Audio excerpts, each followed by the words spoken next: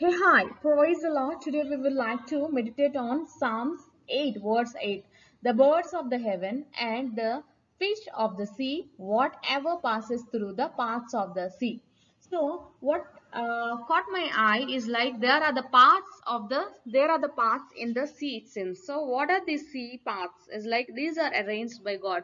So, like the way we have arranged roads which connects one area to another, like the same way God has arranged some paths to for the sea creatures to meet one another or you know to travel in that direction, something like that. So, by observing this particular verse, uh, a sea captain like uh, thought whenever there is a path inside the sea then there is a there will be a sea current which passes in that direction. So if we travel in that direction like we can save a lot of fuel. That's what his understanding is and he's tried it and it worked out.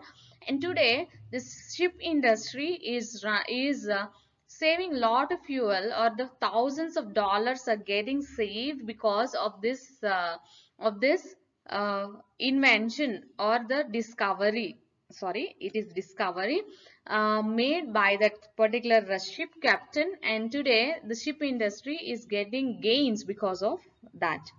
So similarly if you observe this verse so there are the creatures there are the sea creatures which are which doesn't pass through the paths of the sea.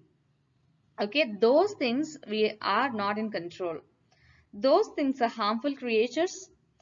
Those things like god is taking taking care of us uh, in everything. Like you know uh, god wants us to eat whatever he desires like whatever is good for our health. So today we are eating sea sea sea animals or the sea creatures like the fishes prawns crabs or you know uh, even um, uh, so many things squids uh, these kind these kind of things like we are eating right? So what is good for our health is discussed in exodus.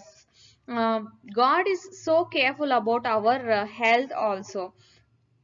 Like whatever doesn't pass through the paths of the sea is considered as not eatable things.